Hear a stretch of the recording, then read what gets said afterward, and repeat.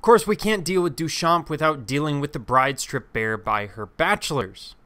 Now, although Duchamp called the glass a hilarious picture, he took it seriously enough to devote eight years to its intricate execution. I should point out this is actually a piece, sort of paper pieces collaged between two pieces of glass. Originally mounted to one piece, but then, uh, well, we'll get to that.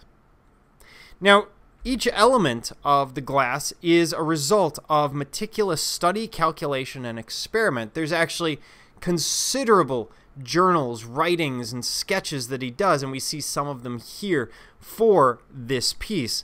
It's meant to be playful, and yet a serious, serious examination of humans as machines. And why is he looking at humans as machines? Well, look at the time frame, 1915 to 1923.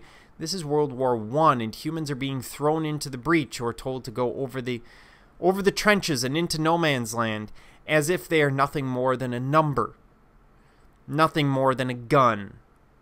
They're being treated like machines. Even when you get outside of the military and you're looking at manufacturing, it is very much the same way. So he's ruminating on some of these ideas that are as old as the Industrial Revolution itself.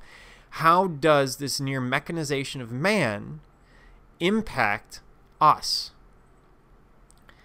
So, as we look at it, the painstaking details, the complex interactions, and the erotic tension between the enigmatic bride in the upper panel and her nine uniformed bachelors below. And here I've broken it up and you can see some labels uh, related to what these things are that you see. There's a chocolate grinder, there's sieves, there's a bit of scissors, there's some molds, which are the bachelors, uh, there's a water wheel. And these are all elements that he's cutting out of magazines or drawing to put in uh, on this glass. So it's really a remarkable piece. The top, of course, represents the bride. And here's the top, the bride, uh, depicted as basically a motor and nothing more. And we see these draft pistons or nets in the middle. We have nine shots off to one side. Uh, we see the shattered glass throughout. So, this is Duchamp's rumination on the ever confounding realm of desire and sexuality, something that we are constantly writing and talking about even today. A few years later, while in transit following an exhibition at the Brooklyn Museum in 1926 27, the two panels will be shattered. Ten years will pass before Duchamp repairs the glass, securing them between new panes of glass and housing the fabrication in an aluminum frame which gives us what we have today. So there's actually three pieces of glass. There's the initial piece that the paper is mounted to. That will be shattered.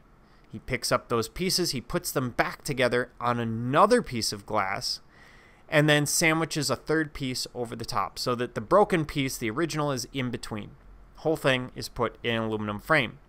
Satisfied with the result and the appearance of this eerily systematic cracking uh, in the upper and lower section of the work, he declares it finished by chance.